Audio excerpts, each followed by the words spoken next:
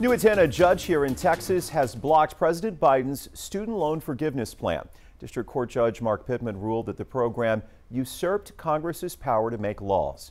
The plan provides millions of borrowers with up to 20,000 apiece. Tonight's ruling is really a formality because the program was already on hold. It's being challenged by six other states in a St. Louis appeals court. Despite the legal challenges, President Biden is still encouraging people to apply. As of late October, more than 22 million borrowers had already applied. Former Bowman